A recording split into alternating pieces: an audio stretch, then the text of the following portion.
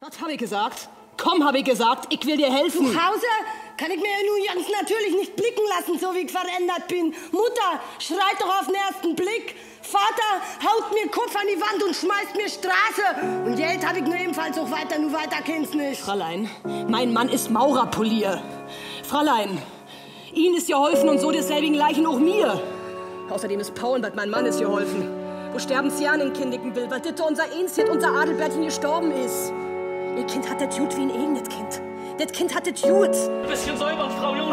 um Gottes Willen, Spitter, was haben Sie denn angebahnt? Ich habe nur eine Dame nach Hause begleitet, Herr Direktor, die ich hier im Hause auf der Treppe schon öfters gesehen hatte. Was Sie nicht sagen, Spitter, erzählen Sie mal! Die Dame litt einen Anfall. Den Knobby hat öffentlich auf dem Gendarmenmarkt, öffentlich auf der Bank geschnallt und ihr euch mit Riemen durchgefuchtelt. Staub, Motten, Mottenstaub, das ist alles, was ich von meiner Kulturarbeit an der deutschen Außengrenze geerntet habe. Geh, Haue, sagst mir, was macht deine Frau? Fräulein Walburga, ich bin's. Hau mal ab, hau mal ab, Kleines, hau mal ab, verschwinde mal, verschwinde mal.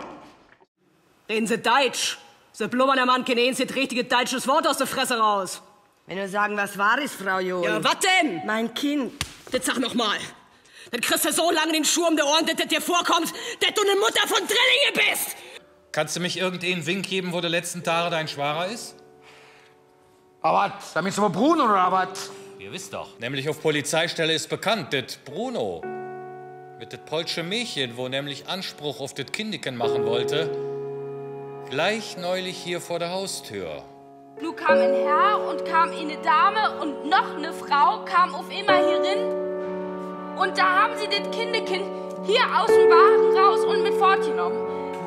Und versteckt mir nicht. Dann mach mir tot, Paul, das ist mein Bruder. Kapul, Jette, der dein Name ohne Fresse von so einem elenden Schuhwerk ist. Wenn du nicht gerade hätte bei mir eine Schwester auf Schlafstelle wärst, dann hätte ich dir wohl mal was Luft gemacht, Rotzjunge. Dann hättest Dutzend Tage den Knoten gekriegt. Du hättest jetzt auch noch jemand, dass das hier dein Bruder ist. Geh mal, Paul, ich werde schon wieder fortschaffen. Aber da bin ich hier wohl übrig, oder was? Wie lange sind wir verheiratet, Paul?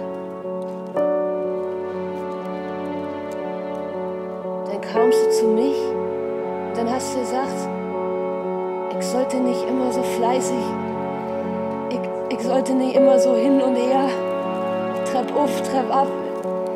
Ich sollte mal ein bisschen pomadig sein. Ich sage nur heute auch noch. Und dann, dann hast du mir links hinter das Ohr geküsst.